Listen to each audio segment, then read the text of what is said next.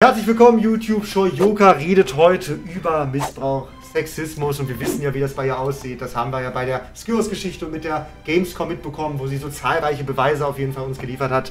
Und ja, da gucken wir mal rein und belustigen uns ein wenig. Und äh, ja, folgt mir. Let's go. Oh, as long as I know how to love, I know. I've got all my life to live. I got. Das geht schon so überdramatisch los. In diesem Film werden sexuelle Belästigung, sexualisierte Gewalt und Revenge-Porn geschildert.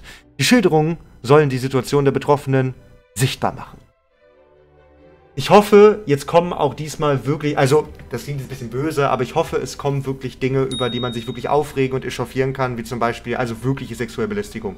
Wenn sie jetzt wieder mit so einer Screw-Geschichte um die Ecke kommt, so gefühlt halb gelogen, dann wäre das echt enttäuschend, wenn sie so einen Beitrag gemacht hat. Dann würde sie mal wieder alle Leute, denen das wirklich passiert ist, ein bisschen durch den Kakao ziehen. Aber gut, gucken wir erstmal.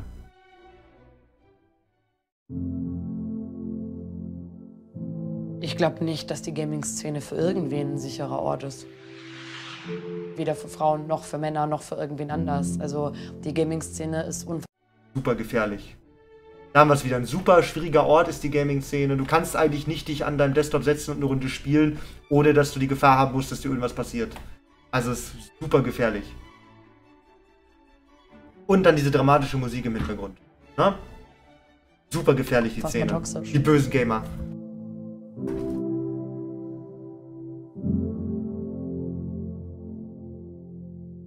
Den Sexismus, den wir in der Gaming-Szene erleben, das ist ja kein reines Gaming-Szenen-Phänomen. Sondern das ist ja einfach nur ein Spiegel unserer Gesellschaft. Also man kann ja darüber reden, das ist ja gar kein Problem. Aber warum müssen die diese dramatischen Kamerafahrten machen? Bei Shoyoka. Warum bei Shoyoka? Jede andere Person gerne, aber um Shoyoka dich rumkreisen mit melancholischer Musik und dramatischer Musik, das fühlt sich nicht richtig an in meinen Augen. Willkommen bei Spaß, Pia und dem Aufs Maul Krieg Simulator. Was ihr bei mir sehen werdet, ist professionelles Sterben. Ich werde euch in den nächsten Streams, Stunden, was auch immer, zeigen, wie man unfassbar schlecht in einem Spiel ist. Als Shoyoka streamt Pia Scholz seit neun Jahren für Hunderttausende von Zuschauenden auf der Plattform Twitch. Sie gehört zu den größten Streamerinnen Für Hunderttausende. Wir schauen ihr ja gar nicht zu. Oder meint sie, so viele Follower hat sie? in Deutschland. Ich mache Livestreaming, wir schauen Menschen beim Computerspiele spielen zu. Trau dich! Du hast ja doch, du traust dich ja doch nicht. Na komm, na komm zu mir. Du hast das gruselige Pferd. Oh. Und ich Guck mal, dieses cute Lachen. Die haben es tatsächlich geschafft, sie in einem anderthalb Minuten Clip jetzt mittlerweile schon irgendwo als nicht unsympathisch darzustellen. Das ist schon mal stark. Das ist schon mal eine Leistung. Das muss man dem Medi den MDR zugute halten. Ne? Das, es kam gerade ein bisschen cute rüber. Sie spielt ein bisschen, hat ein bisschen Spaß, ha, hihi. Ne? Aber bitte gebt ihr keinen Gaming-Preis mehr. Bitte. Lasst es einfach. Ich mache aktivistische Arbeit, vor allem mit dem Fokus auf Feminismus und jetzt intersektionalen Feminismus. Meine Aufgabe besteht in erster Linie erstmal daraus, darüber aufzuklären und Menschen überhaupt darauf hinzuweisen, dass es das gibt. Das, ist ein das, ist Deepfake, das, was ich ja. tue. Seit acht Jahren jede Woche immer wieder neu definieren und erklären, was Sexismus ist. Dann lass es doch einfach. Aber ich weiß, du hast eine große Bürde, denn die Welt braucht genau dich. Die Welt braucht einfach mehr Shoyokas. Ich meine, wie viel besser wäre die Welt und wie viele Gaming-Preise bräuchte man, wenn es mehr Shoyokas geben würde? Weil jede Shoyoka hat einen Gaming-Preis verdient. Und jeder, der irgendwas dagegen sagt, ist ein dreckiger Sexist und Frauenhasser. Das ist doch ganz klar. Die Welt wäre besser, wenn wir einfach ein bisschen mehr wie Shoyoka wären alle. Die Gamer-Bubble ist einfach komplett durchseucht von Rechten. Ja, die ganzen rechten Gamer. Ist komplett durchseucht. Die rechtsradikalen Gamer. Die, gut, rechtsradikal hat sie nicht gesagt. Aber die rechten Gamer, die Bösen, ey. Gott, Gott, Gott, oh Gott, oh Gott, ey. Aber gut, dass sie uns alle retten wird. Das äh, freut mich doch sehr. Sie wird uns alle retten. rassistischen, sexistischen, queerfeindlichen, Trollen und anderen Individuen. Einfach nur mal darauf hinzuweisen und zu Einfach sagen, schlechte Menschen. Gucke mal. Guck mal, da gibt es was. Latti? Am liebsten spielt Pia Charaktere aus Strategiespielen. CK3 mache ich heute fertig. Uncut mache ich heute fertig. Nein. Doch. Du musst England-Vlog machen. Ja, ich, das Nein, dauert wir geben 10 das. Win. Ich dauert das 10 Wir geben Minuten. das Win und du hast 10 Minuten früher Feierabend. Mein Charakter hat sich basically hochgeschlafen mit Affären. Also das Erste, was authentisch rüberkommt auf jeden Fall. Dass sie sich hochgeschlafen hat mit Affären, um auf diese Zuschauerzahl zu bekommen. Das meinte sie doch, oder? Oder, Chat? Meinte sie das? Dass sie so viele Zuschauer hat, weil sie sich bei ihrem Freund hochgeschlafen hat? In diese Gruppe da rein von äh, Woken Spinnern? Also, da, also, endlich ist er mal ehrlich. Also, das hatte ich jetzt nicht erwartet von der Doku, dass sie jetzt hier den Real Talk auspackt, aber finde ich gut. Finde ich gut, dass sie sich öffnet. Und das ist der erste Schritt auf jeden Fall zur Besserung, finde ich. Also, da mal bitte, s- bitte Hashtag Soli für Shoyoka in den Chat, bitte. Das finde ich wirklich toll. Ne? Dass sie, dass, sie, dass sie das jetzt einsieht schon mal. Soli für Shoyoka. Das heißt, wenn sie in die Richtung irgendwas leicht Obszönes macht, was von YouTube nicht gebannt wird, haben wir einen wunderschön passenden Clickbait. Ich arbeite mit Firmen zusammen, mit die Computerspiele veröffentlichen. Ich habe Werbedeals mit Firmen, die sagen, hey, bitte teste das Spiel im Stream an und gib Feedback dazu. Und ich bin da sehr offen. Ich, also ich kann annehmen, was ich möchte und nehme vier von fünf Anfragen nicht an, weil ich sage, nee, ist nichts für mich, möchte Weil die zu wenig Geld bringen. Ich nicht machen. Ähm, ich kann auch sehr ehrlich Feedback geben, aber letztendlich Außer das Geld stimmt, dann wahrscheinlich eher unehrlich. werde ich dafür bezahlt. Aber würde ich auch machen, von daher. Alles gut, Shoyoka. Ich würde wirklich, ich würde euch das Blaue vom Himmel verkaufen, wenn ich dafür 100.000 Euro bekäme. Ich würde sagen, ey, Leute, Spilo ist so geil. Ihr gewinnt in Zukunft alles. Setzt einfach all euer Geld auf Rot. Ich fahre dann weg im Ferrari. Ach, geil. dass ich Spiele anteste. Und damit bin ich auch irgendwie einfach eine laufende Werbeplattform. Auch wenn Moin, alle Percy. sagen, "Na, ich will das nicht. Naja, aber seien wir mal ehrlich so. Und deswegen, ich will es halt nicht schönreden. Ich will es halt einfach so benennen, wie es halt ist. Wir bauen. Pia ist selbstständig. Mittlerweile hat sie Mitarbeitende und ein eigenes Büro in Berlin. Ihr Streaming-Paradies. Ich versuche Menschen dazu zu animieren, sich aktiv an einer Demokratie zu beteiligen. Ähm. Okay. Habt ihr Shoyoka so wahrgenommen, dass die Leute probiert. Also hat ihr Kollege Dekadent nicht letztlich noch gesagt, Demokratie ist nicht so geil? Wenn Leute für was anderes sind, dann soll man die Wahlzettel verbrennen? Ist das nicht ihr Kollege? Habe ich da irgendwas falsch mitbekommen? Gehört sie nicht zu der Bubble? Macht sie nicht Leute fertig, die Hogwarts Legacy spielen? Hm. Ah. Wild auf jeden Fall. Wild, wild, wild, Freunde.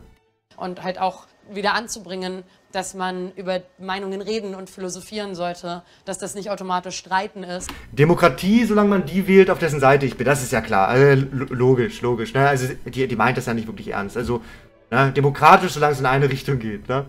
Mal davon abgesehen, dass sie wahrscheinlich auf, äh, wie gesagt, AfD, ich möchte mich nochmal davon distanzieren, bitte diese Partei nicht wählen. Macht sie nicht noch stärker, als sie eh schon sind. dass man auch als Teil einer Demokratie auch zu Demos gehen kann, Petitionen unterschreiben kann, Abgeordneten schreiben kann, dass das alles ein politischer Prozess ist, ähm, der uns weniger ohnmächtig macht, als wir glauben. In der Hoffnung, damit irgendwas zu tun, weil ich bin jung und glaub noch dran. ja, mal gucken. Zwischen Livestreams, Drehterminen und Events kümmern Pia und ihr Team sich um die Instandhaltung des Büros. Und dann haben wir vier von Rechargeable Batterien. Oh. Ähm, ich schick, willst du Kendrick eine Sprachnotiz schicken oder soll ich in die Gruppe? Ich schicke direkt eine Sprachnotiz. Es macht viel mehr Spaß, so vor Ort mit Leuten zu arbeiten und nicht alles nur online zu machen. Das ist ein ganz anderes Arbeitsgefühl. Die ersten Monate, jedes Mal, wenn ich hier reingekommen bin, war ich so, oh mein Gott, das ist mein Büro. ähm, und das war schon krass, weil ich halt schon ganz lange das Gefühl hatte, ich bin Streamerin, das ist einfach nur zu Hause im Wohnzimmer Computerspiele spielen. Das Haarwachs, äh, das äh, Haarspray habe ich auch. Wer kennt das Haarspray da hinten? Legenden Haarspray. Und wenn du dann zu deiner eigenen Arbeit fährst und dann hast du dein eigenes richtiges Office mit Backoffice und deine Mitarbeitenden hier und Mittagspause und Dreh und alles, dann das kriegt ein ganz anderes Level. Ähm, aber ich muss sagen, das schönste Gefühl ist nach Hause kommen danach. weil ich das erste Mal in meinem Leben einen Feierabend habe.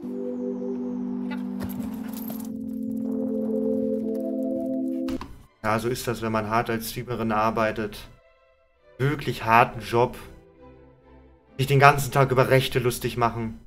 Also über Rechtsradikale oder über Rechte. Das ist schon, das, das ist schon anstrengend, ne? Sich bis über Hogwarts Legacy aufzuregen.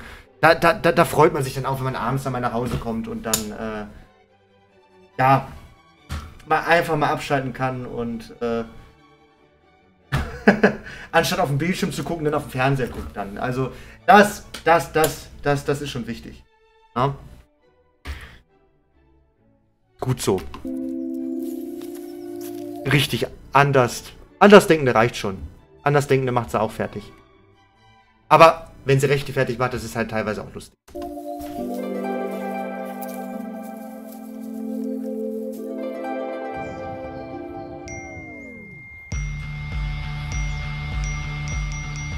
Sexuelle Belästigung ist ein riesiges Thema.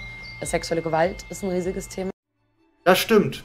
Gibt genug Spinner, die Frauen so einen Müll schreiben. Absolut, ohne dass sie vorher danach gefragt haben. Mein halber Chat hat das bestimmt schon gemacht. Ihr spatiatischen Schweine, ihr. Ne? Nein, äh, das ist echt ein ernstes Thema. Da, darunter leiden viele Frauen tatsächlich, ne? Ah, aber dann blockieren, ne? Die Leute, die ungefragt irgendwelchen Unsinn schicken. Das ist nicht die feine Gentleman-Art, Freunde. Da muss man nicht woke sein, um das zu verstehen, dass das nicht geht.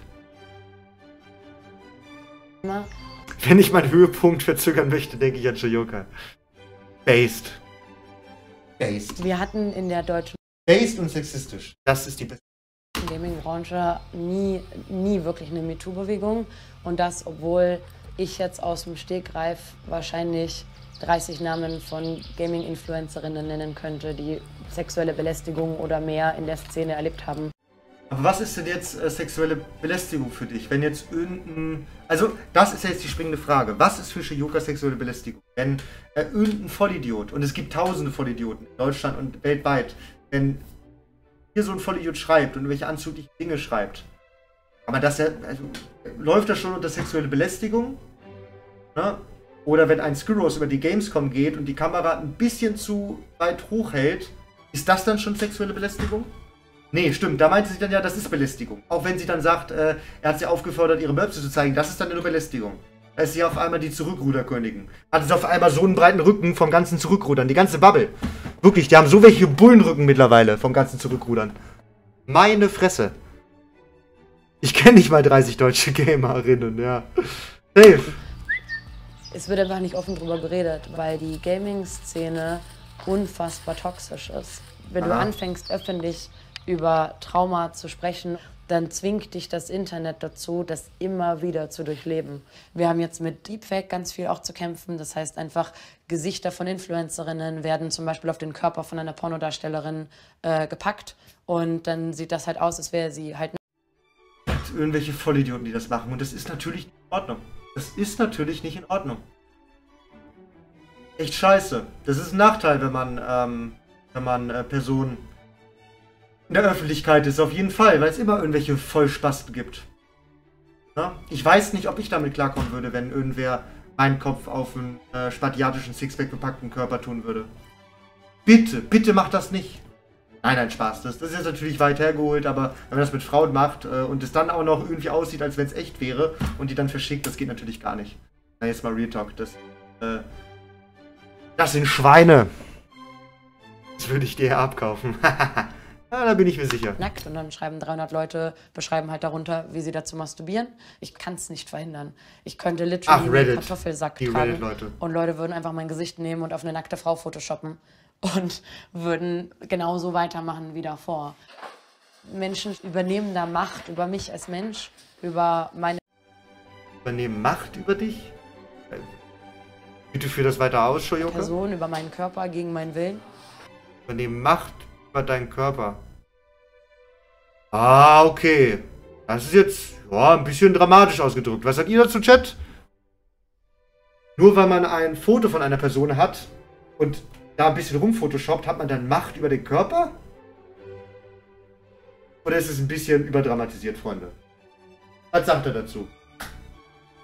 eins, äh, ich habe die Macht. Und zwei ist, äh, ja, ist halt äh, scheiße, dass er dann so einen Unsinn damit macht und äh, das sollte auch bestraft werden. Also bestraft werden sollte sowieso, ist klar, aber. Ja, zwei, ne? Würde ich jetzt auch so einordnen, to be honest. Weil Macht wirklich über deinen Körper. Man könnte vielleicht Macht über die Psyche sagen, ne? Weil man wen ja damit bestechen kann, im Prinzip. Theoretisch. Aber Macht über den Körper ist ein bisschen überdramatisiert. Tut sie so, als würde ich hier mit einer Voodoo-Puppe sitzen und Shoyoka ertrinken. Passt. und zwingen mir da quasi irgendwie ihre Fantasien auf. Und ich habe da auch das Gefühl von den Nachrichten, die ich diesbezüglich bekommen habe, dass das ganz viel Machtspielchen sind. Also dass es wirklich darum geht, dass Männer, für die ich unerreichbar bin, versucht haben, Macht über mich zu bekommen, indem sie etwas nutzen, was mir unfassbar unangenehm und peinlich ist und wo ich mich verletzlich fühle, um in irgendeiner Weise Kontrolle über mich übernehmen zu können. Ey, das ist ein interessanter Take. Also kann so sein, dass es ist, aber kann halt so sein, dass es auch einfach nur absolute Vollidioten sind, die gerade geil sind und sich äh, dabei äh, geil fühlen und äh, sich feiern darauf. Aber dass sie da jetzt speziell Macht über dich ernehmen, übernehmen wollen und äh, das geht wieder in so Richtung Patriarchat und alle Frauen werden unterdrückt und Männer wollen alle eigentlich insgeheim nur die ganze Macht und Weltherrschaft haben und Frauen unterordnen. Das ist schon wieder ein Take, der, ja, könnte man differenzierter betrachten auf jeden Fall.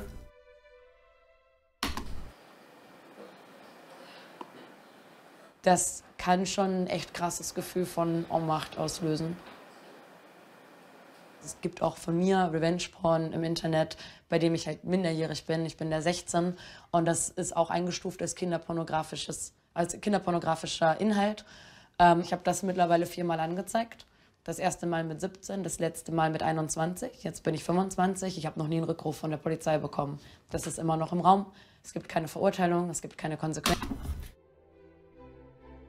Es ist confirmed. Nicht mal die Polizei hat Bock auf Shoyoka. Nein, Spaß. Äh, das ist natürlich ein ernstes Thema, wie gesagt. Da kann ich mir gut vorstellen, dass so eine junge Frau da natürlich sehr drunter leidet. Ähm, wenn dann dementsprechend, äh, ja, Dinge von ihr rumgeschickt werden. Klar macht man, wenn man jung ist, Fehler. Dann schickt man vielleicht als Frau so welche Dinge rum. Man denkt sich, man, man weiß es vielleicht zu dem Zeitpunkt auch nicht besser. Und äh, ja, das ist äh, sehr, sehr ärgerlich, wenn sie dann keine Unterstützung von der Polizei enthält. Aber oftmals ist der Polizei so welchen Sachen dann auch einfach die Hände gebunden, ne? Die äh, haben ja auch nur technisch begrenzte Mittel, sage ich mal so, ne? Die meisten Polizisten wissen noch nicht mal, wie sie irgendwas finden. Bisschen Polizisten-Bashing jetzt hier an der Stelle. Also, das kann ich absolut nachvollziehen, dass sie das belastet. Würde es mich persönlich auch. Konsequenzen passiert einfach gar nichts. Im Internet, wo alles anonym ist, kriegt man ganz viel Ekelhaftes mit. Ja. Und dann hast du so ein Gespräch mit einer Person in, im realen Leben, die dir sagt, boah, das hatte für einen Impact quasi für mich. Sind halt tausend blöde sympathisch, danke für den Follow. So vom, vom Gefühl her. Inzwischen wird Pia oft auf der Straße angesprochen. Menschen fahren stundenlang zu großen Gaming-Messen, nur um sie zu treffen. Was ein armseliges Leben. Stell dir mal vor, du fährst stundenlang, um Shoyoka zu treffen. Da muss einiges falsch gelaufen sein, Ich Freunde. hatte jetzt auch ein ganz großes Community-Treffen auf der Gamescom, wo ich wirklich das erste Mal auch so ein Signing gemacht habe mit, okay, ihr könnt vorbeikommen und wir machen Fotos. Und ich hatte echt Angst, dass niemand kommt. Und letztendlich haben wir Hätte ich auch an deiner Stelle. Dann halt komplett überzogen. So zweieinhalb Stunden ist diese Schlange nicht abgeebbt von Leuten. Es waren einfach hunderte Menschen da, die Fotos mit mir machen wollten, mit mir quatschen wollten. Also es war super krass. Das war etwas, das kam, also ich habe es immer noch nicht ganz verarbeitet, weil man dann plötzlich die ganzen Gesichter sieht von den Personen und da richtige Menschen einfach dahinter sind. Weil im Internet vergisst man das manchmal, dass diese Zahlen ja wirklich alle Personen sind, die da vor ihrem Bildschirm sitzen. Wann machen wir spartanischen Abo-Treff, Freunde? Schreibt's in den Chat, schreibt's in die Kommentare. Wann geht was an? Treffen wir uns, äh, sie wohnt in äh, Spandau. Treffen wir uns da. Und äh, damit wir uns erkennen, ähm, wir Spartaner zu Spartaner, wir wissen ja nicht, wie wir aussehen, äh, nehmen wir am besten als Erkennungszeichen äh, Fackel und Missgabeln mit. Und äh, dann gehen wir da mal spazieren, ein bisschen in Spandau, so auf, auf, auf, ja, auf lustig. Ne? Alle tragen eine Maske, genau, genau, perfekt. So stelle ich mir das vor. Vollkommen verrückt. Mindestens 300, ja. Geil. Jo Leute, ich bin live, vier Stunden zu spät, aber ich habe es angekündigt. Wie ihr seht, haben wir jetzt einen Greenscreen. Das ist mega krass. Ich bin im Büro und es wirkt fast professionell, fast wie ein eingerichtetes Studio. Äh, mein Stream ist live, hier ist der Link, kennt ihr eh. Und wir spielen Crusader Kings 3 weiter mit dem äh, Spielstand von gestern. Ich hoffe, die Steam Cloud macht das mit, weil ich ja gestern zu Hause war. Bis gleich. Hallo Menschen. Wie lief's mit dem Sender heute? Mit, mit, mit dem Sender lief's sehr gut. Der ist auch noch da, der Sender. Der stalkt euch ein bisschen. Ähm, da sieht man den Sender. äh, ist, immer, ist immer noch da. Ähm, und deswegen bin ich heute auch ein bisschen später da. Also ich habe es ja auch erzählt, äh, dass der MDR mich heute ein bisschen durch meinen Alltag äh, begleitet hat. Und ich war mir noch nicht sicher, ob ich schon erzählen darf, worum es geht. Deswegen halte ich erstmal noch mein Maul. Ihr kriegt es dann mit. Ich poste euch eh und sage euch Bescheid, wenn es dann da ist. Und äh, deswegen bin ich jetzt ein bisschen später da. Ja, und äh, morgen ist fucking äh, Dingsterbumster, DCP, ne? Äh, DCP, Deutscher Computerspielpreis. Oh. Ja, morgen kannst du dir deinen Preis abholen. Ah, sagen wir mal, ich bin morgen mit dabei und äh, freue mich auf das Event. Da hatte sie natürlich noch keine Ahnung, dass sie den Preis gewinnt. Das ist ja, also. Da hatte sie noch keinen Plan. Ja. Also. Gamerin des Jahres, Shoyoka. Aber ähm, ich habe krasse, ich habe krasse Konkurrenz dieses Mal auf jeden Fall bei der Nominierung wieder. Machen wir morgen. Krasse Konkurrenz und sie hat sich trotzdem durchgesetzt. Das muss das für eine Gamerin sein. Wow. Den DCP streamen. Klar, ich streame den DCP, während ich beim DCP bin. Tschüss, kommt gut in den Feierabend. So Leute, wir sind wieder unter uns. Jetzt können wir wieder asozial sein. oh, geil. Für ihre Kombination Endlich wieder sie selbst sein. Aufklärungsarbeit und Gaming ist Pia als Spielerin des Jahres nominiert. Bei der wichtigsten Preisverleihung der deutschen Gamesbranche. Freund Kalle begleitet sie. Hatte mich mein eigenes Abi bei. Oh.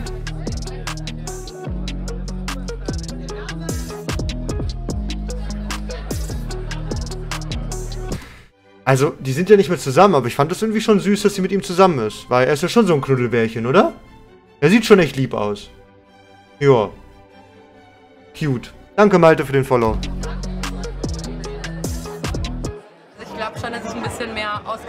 Bisschen mehr Balance brauche. Weil ich meine, ich habe ja schon immer auch Gesellschaftliches gemacht, aber gerade das letzte halbe Jahr war schon sehr, sehr viel.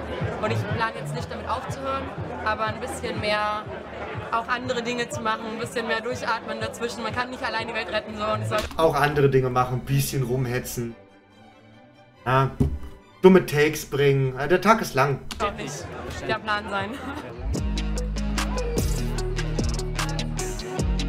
Beantworte ich gleich, King Connect, ja? In Berlin trifft sich die Creme de la Creme der Szene. 800.000 Euro werden in 15 Kategorien vergeben. Das soll der deutschen Gamesbranche bei neuen Entwicklungen helfen.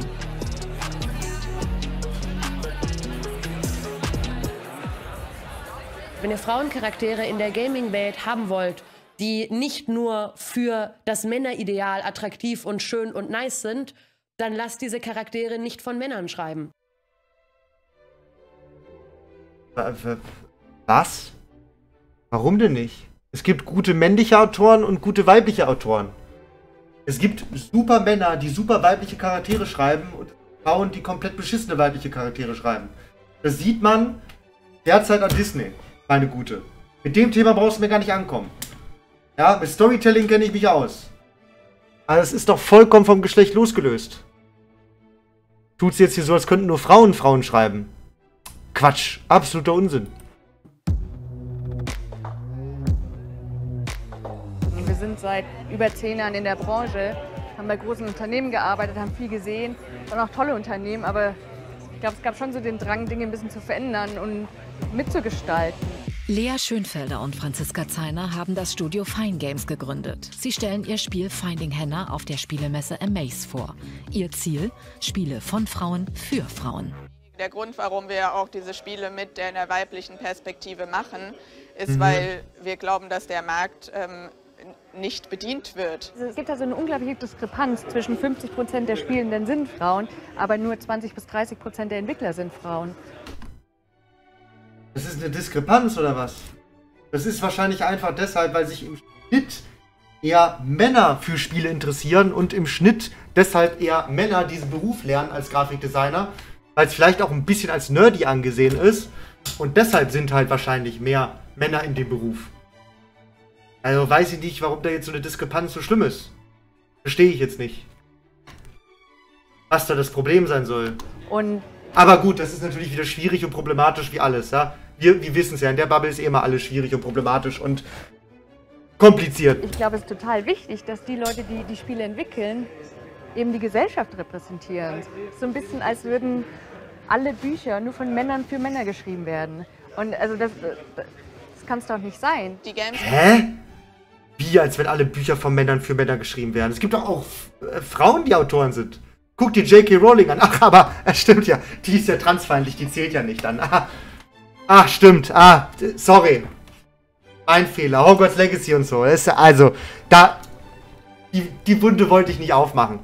Branche ist vielleicht auch so ein bisschen, sie reagiert. Ne? Es ist nicht so eine Branche, die einfach immer Oh. weiter in ihren alten Strukturen vor sich hin werkelt, sondern es passiert langsam. Ich bekomme aber auch Blutdruck, Leute. was. Einen wunderschönen guten Abend! Hallo und herzlich willkommen zum Deutschen Computerspielpreis! Ich darf Shoyoka!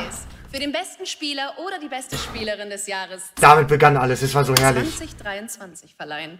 Wenn ich jetzt hier stehen würde und Deutschlands Fußballer oder Fußballerin des Jahres küren würde, dann wären alle so, oh und ah. Aber Was eine dämliche Anmod. Leute, wie viele Menschen spielen regelmäßig in Deutschland Fußball? Laut Umfragen circa drei bis vier Millionen. Und wie viele Menschen gibt es, die regelmäßig zocken? 48 Millionen. Und wie viele Leute davon haben es verdient, einen Preis zu gewinnen? Sicherlich viele, aber nicht Shoyoka. Der Deutsche Computerspielpreis 2023 in der Bullshit Kategorie Bingo, ja. Spieler, Spielerin des Jahres geht an... Genau. Shoyoka wäre auch fast ohne Grund Fußballerin des Jahres geworden. Sie hat noch nie Fußball gespielt, aber sie ist eine Frau, sie verdient den Preis, ist doch klar. Und wenn man sie dann dafür kritisiert, ey, du hast noch nie Fußball gespielt, dann ist man natürlich ein Frauenhasser. Ist ja, also ist ja klar eigentlich.